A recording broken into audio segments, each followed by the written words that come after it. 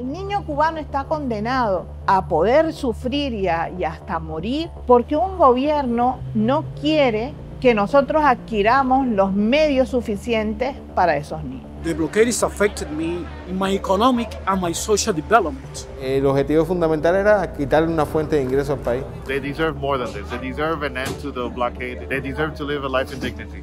It's not true when they say that their policies is to help the Cuban people. They've been torturing our population, both Trump and Biden as well.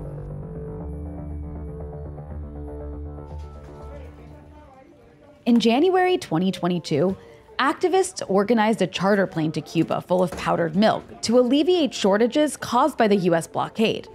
The milk was to be dispersed to pediatric hospitals in Havana. They deserve more than this. They deserve an end to the blockade. They deserve an end to all the sanctions that have been put in place by the Trump administration and been kept by the Biden administration. They deserve to live a life in dignity.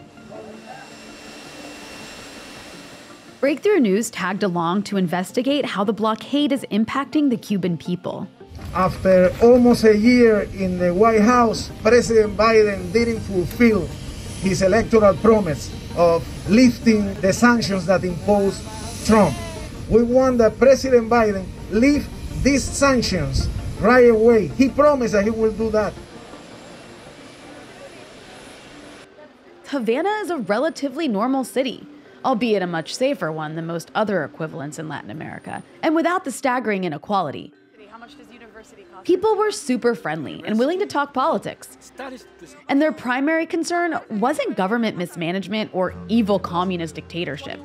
It was the shortages caused by the US blockade. Ah, yo trabajo en salud pública, por ejemplo, y hay muchos pacientes y muchas personas que necesitan, requieren de, de equipos y cosas médicas, como digamos marcapasos, cosas que, que son necesarias y que no contamos con ellas, que los pocos que tenemos eh, nos resuelven algún problema, pero no del todo. Sobre todo aquellas personas que tienen niños que lo han sufrido en carne propia, niños con problemas de leucemia, cáncer.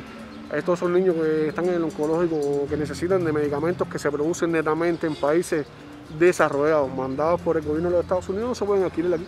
The blockade has affected me in, the, in my economic and my social development, in the style of life that we should like to have in our country, according to our conditions, according to our own possibilities. The revolution of 1959, led by Fidel Castro, transformed Cuba from a playground for Western exploitation, colonialism, and rampant inequality to a people centered government that ended Jim Crow style segregation and provided free healthcare and education and housing access for all. The blockade tries to stifle these programs by creating shortages and causing inflation. It stipulates, for example, that any product that's sold to Cuba can't have more than 10% of US materials in it. And any ship that docks in Cuba can't dock on US shores for six months, even if it was carrying humanitarian goods. Every year, the UN General Assembly holds a vote about the blockade. And every year, every country votes to end it, except for the US and Israel. Despite these measures being unilaterally imposed by the US, corporations around the world comply to avoid heavy financial consequences. The truth is that U.S. Uh, behave as a predator. From Cuba, they're taking away every year five thousand million dollars from our economic revenues. This is terrible for any country. Five billion. Exactly. Five billion. Five yeah, billion dollars. That, that if the embargo didn't exist, we will have that income to buy medicines, to build uh, infrastructure. They are being so mean to Cuba because they also want to force the Cuban failure. Mm-hmm. Sometimes they say uh, Cuba is blaming the embargo for every failure that they have, but they are their own problem. I say, hey, let's do it differently. If the embargo is our excuse, why won't you remove it? Cuba had learned to survive under the blockade, even thriving in certain industries. For instance, Cuba has a state of the art biotechnology sector that developed five COVID vaccines. Its most effective, Abdala and Soberana, have efficacy rates over 90% and are easy to store, making them ideal for developing countries that lack the capacity to produce or refrigerate at the cold temperatures required by Moderna and Pfizer. But the US blockade is a major obstacle to mass production. First, to buy um, equipment, advanced technology equipment, uh, is forbidden for Cuba. We cannot buy. And today, the equipment is so complicated that you need a maintenance from the specialist from the factory, and you can not have that available at this time. So, are there people who may have died that didn't have to die because of a delay in producing the vaccine more quickly as a result of the blockade? Well, of course, if we have all this available, we could be more, more faster, quicker than we were. While vaccine hesitancy has hampered U.S. vaccination efforts, Cuba managed to vaccinate 90% of its population without a mandate because of widespread trust in the medical system. But under Trump, the blockade got much more intense. He imposed 243 new sanctions that attacked Cuba's main sources of income tourism, remittances, and the medical brigades. Trump even added Cuba to the state sponsor of terrorism list. Despite campaigning on reversing these destructive policies, Biden has done the opposite, adding even more sanctions. We are, there will be more unless there's some drastic change in Cuba, which I don't anticipate. Even the New York Times has characterized Biden's policy as a harder line than Donald Trump. And it's a torture in a country because if you go after the fuel of a country, you are going after what we Cuban women use to prepare food for our children. We are going to the electricity that we use in, in, in, in incubators in hospital. You are going to the population. So it's not true when they say that they care about human rights in Cuba. It's not true when they say that their policies is to help the Cuban people. They've been torturing our, our population, both Trump and Biden as well. The new restrictions, combined with the economic devastation from the pandemic, which brought Cuba's tourism industry to a standstill, caused Cuba's economy to shrink by 11% in 2020. While no one is starving thanks to ration cards dispersed by the government, people spend hours waiting in line for basic items. And that's precisely the point. A US State Department memo from April 1960 makes clear that the goal of the blockade is to weaken the economic life of Cuba and decrease monetary and real wages to bring about hunger, desperation, and overthrow of government.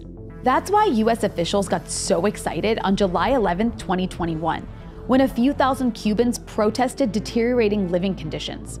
The US and its media stenographers immediately exploited the protests, lying about their scale, and exaggerating the Cuban police response while pretending there was no US involvement.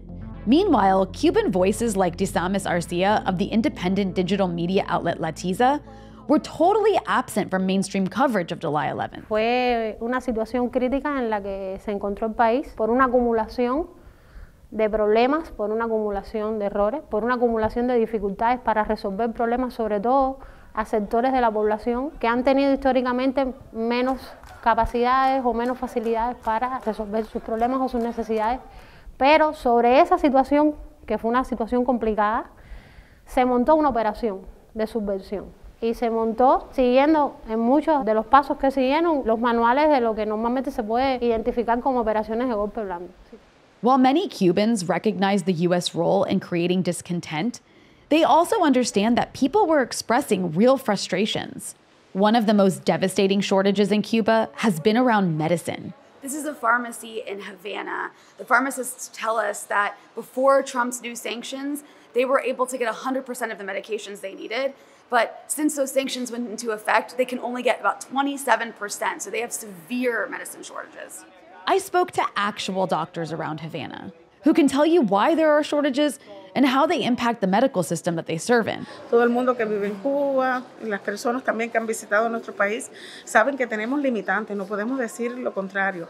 El bloqueo nos ha limitado mayormente eh, la parte de, de recursos eh, materiales. Debido al bloqueo que existe, hubo que adquirir medicamentos a través de terceros países como China, Venezuela, muchos países de aquí de, del área que nos aportaron, nos ayudaron mucho y nos donaron todo material de cura, material de jeringuilla, además la preparación y la inteligencia de los cubanos, que fuimos capaces hasta de hacer equipos de oxígeno, porque no, no lo podíamos adquirir de otra forma en el mercado mundial por el bloqueo. Even with help from allied countries, the medicine gaps are hard to fill. You can find that in very specific medicine antibiotics, on other medicine, for example, that are needed for specific patients, and you cannot buy. You cannot buy, and the people die, even children, because they are produced only in United States, and United States don't issue license for us to buy those, uh, those medicines. Despite the blockade, Cuba continues to offer free universal health care, with more doctors per capita than anywhere else in the world, and social indicators that are on par with the developed world. But this isn't without its challenges. I spoke with Aleida Guevara, the daughter of Che Guevara. Por ejemplo, en mi caso que soy médico, yo conozco de medicamentos que hay en el mundo. Desgraciadamente, de los 10 medicamentos nuevos que salen hoy en el mundo, 8 pertenecen a patentes de Estados Unidos de Norteamérica. Por ley del bloqueo, nosotros no podemos adquirir esos medicamentos. Entonces, nuestros niños pueden tener patologías graves con los cuales podríamos resolverlas con esos medicamentos, pero no los podemos adquirir por el bloqueo. Es decir, el niño cubano está condenado a poder sufrir y, a, y hasta morir porque un gobierno no quiere que nosotros adquiramos los medios suficientes para esos niños. The US has also attacked Cuba's medical internationalism. Cuba has sent over 450,000 Cuban doctors to 164 countries in the last six decades to provide healthcare in underserved areas. Sometimes the Cuban government receives payment for these services from countries that can afford it. US officials have accused the Cuban government of human trafficking doctors and even suggested they might be spies. Cuba wasn't sending doctors and officials to Bolivia to help the Bolivian people, but rather to prop up a pro Cuba regime headed by Evo Morales, who sought to, to maintain his grip on power. Bolivia now joins Brazil and Ecuador in recognizing the Cuban threat to freedom. Bravo, Bolivia. Once the pandemic began and those doctors were desperately needed, countries like Brazil were begging them to come back. But the US kept attacking the doctors. Facilitating a program that subjected more than 10,000 Cuban medical professionals to force labor conditions in Brazil. Dr. Juan Jesus Luis Aleman is deputy director of the Moncada Clinic in Havana and a member of the Henry Reeve Brigade, a special medical mission that the Cuban government dispatches to provide medical care free of charge in disaster zones. En primer lugar, ¿cómo tú vas a pagar a una persona que va a arriesgar su vida para salvar a la otra? Eso no hay como pagarlo, ¿entiendes? No hay como pagarlo, ni hay como ni obligarte a hacer eso. Eso es difícil, esto es voluntario. Inclusive para uno es hasta un honor poder servir a los demás. Ya es parte de la filosofía interna de uno. A pesar de que parezca que todos somos homogéneos, tenemos opiniones muy diversas dentro del grupo de la brigada. Somos la antítesis de, de, de ser espía. Ahí nadie espía a nadie porque no hay nada que espiar, hay que trabajar y mucho. Regularmente no hay tiempo para espiar. What do you think, from your own perspective, is the purpose of the U.S. attacking the medical brigades and pressuring countries like Bolivia and Brazil to expel the Cuban doctors? Eh, claro que eh, el, el, objetivo fundamental es, es quitar una fuente de, de, de, recursos al país. La Henry no va a contratos de, de salud, no, no, tiene contratos de cooperación, pero las brigadas permanentes sí, como Bolivia, como Brasil, tenían un contrato que, que el país obtenía dinero por, aquel, por eso. Casi todos estaban patrocinados por la Organización Panamericana de la Salud, eran contratos bien elaborados, ¿no? y eh, el objetivo fundamental era quitarle una fuente de ingreso al país. This kind of disinformation remains a problem in Cuba, like anywhere else. And the US spends millions on anti Cuba propaganda, mostly based out of Miami, that blames the state for all of Cuba's problems and accuses the government of using the blockade as an excuse. US Congress passed every year 20 million to meddling in Cuba legally. We are not going to talk what the CIA spent. We are not going to talk about other agencies spent.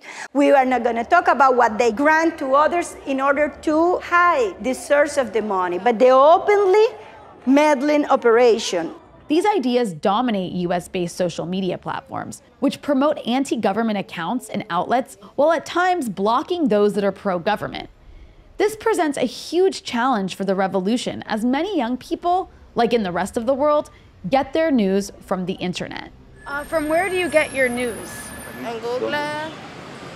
Eh, Facebook, cuando estoy revisando normal, me salen algunas noticias y eso. Eh, computer, eh, internet. Bueno, por internet. if you get your news from mainstream media outlets or Joe Biden, you might think Cubans have no internet. We're increasing direct support for the Cuban people by pursuing every option available to provide internet access, help the Cuban bypass the Cuban people bypass the censorship that's being mandatorily imposed. But when I was in Cuba, not only was there internet, it was actually the US doing the blocking. The blockade leaves no part of society untouched. The Cuban Revolution ended institutionalized segregation and gave opportunities to Cuba's black population. But the blockade undermines some of that progress.